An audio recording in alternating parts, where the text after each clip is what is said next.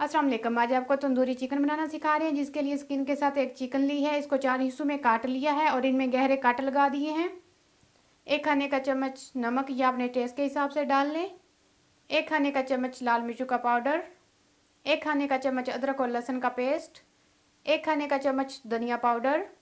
एक चाय का चम्मच गरम मसाला पाउडर। दो खाने के चम्मच लेमन जूस। एक खाने का चम्मच ज़ीरा पाउडर। एक चौथाई चाय का चम्मच रेड ऑरेंज फ़ूड कलर दो खाने के चम्मच ऑयल और आधा कप दही। चिकन को मैरिनेट करने के लिए एक बॉल में दही, लाल मिर्चों का पाउडर नमक, अदरक और लहसुन का पेस्ट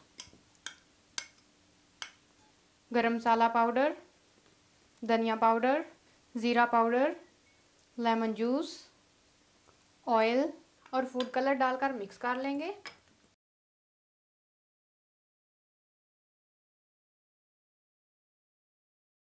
सब चीज़ों को अच्छी तरह से मिक्स कर दिया है। अब मैरिनेशन में चिकन डालकर अच्छी तरह से कोट कर लेंगे।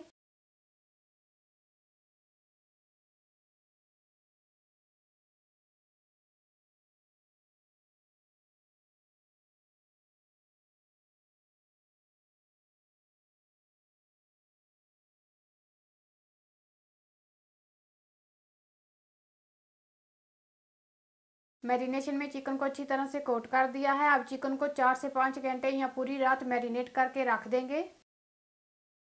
पाँच घंटे के बाद मैरिनेट की हुई चिकन को एक ओवन प्रूफ डिश में डाल देंगे।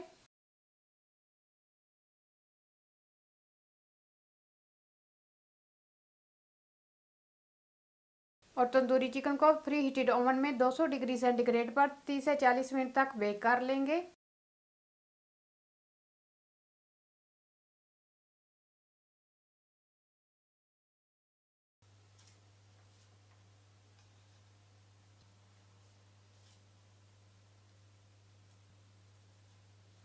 तंदूरी चिकन को ओवन से निकाल के सर्व कर दिया है। बहुत इजी और सिंपल रेसिपी आप भी इसको ज़रूर ट्राई कीजिएगा और बताइएगा आपकी तंदूरी चिकन कैसी बनी। अगर आपको रेसिपी अच्छी लगे तो लाइक और सब्सक्राइब करना ना भूलें। अल्लाह हाफिज़।